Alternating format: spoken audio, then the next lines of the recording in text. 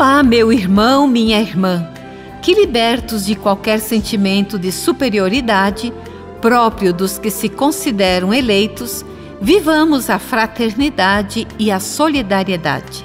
Dando continuidade ao Sermão da Montanha, Jesus passa a proclamar seis contraposições entre a novidade de seu anúncio e a tradição antiga de Israel.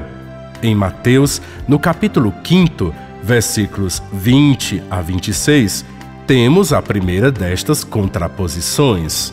Dirigindo-se a seus discípulos, Jesus adverte: Eu vos digo, se vossa justiça não for maior do que a dos fariseus e escribas, não entrareis no reino dos céus.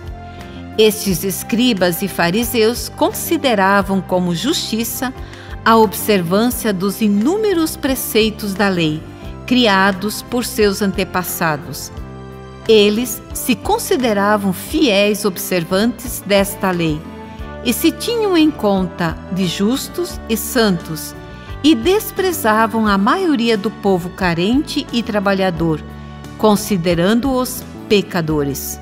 Em lugar desta falsa justiça, Jesus coloca o respeito à vida como o valor fundamental da verdadeira justiça. Jesus proclama suas propostas que se contrapõem aos antigos mandamentos.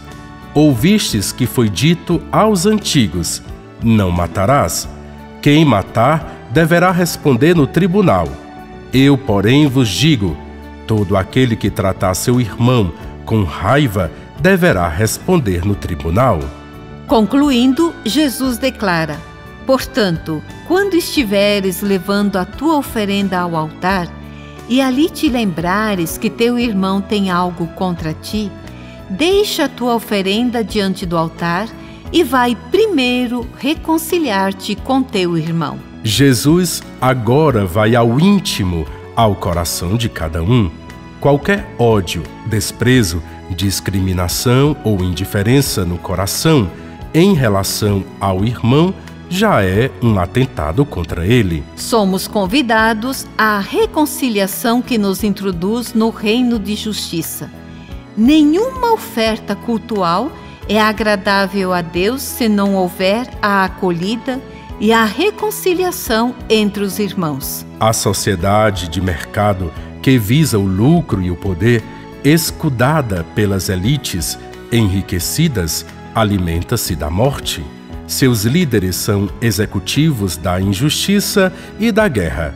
Assim, relegam a doença, a fome e a morte multidões de excluídos. Com Jesus, o antigo preceito não matarás é superado pela disposição a promover a vida para todos, principalmente dos mais carentes e necessitados. Bíblia, Deus com a gente.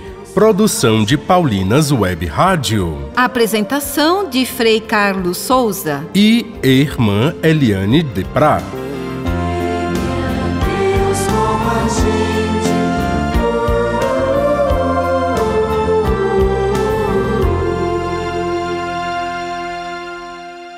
Você acabou de ouvir o programa Bíblia Deus com a Gente. Um oferecimento de Paulinas, a comunicação a serviço da vida. Nos rendemos em adoração ao Senhor com a nova música Em Tua Presença, Senhor, de Johnny Mendes e Vida Reluz. É tão bom estar em Tua presença, Senhor, e te adorar, te adorar, te adorar. Ouça nas plataformas digitais. Um lançamento Paulinas Comep.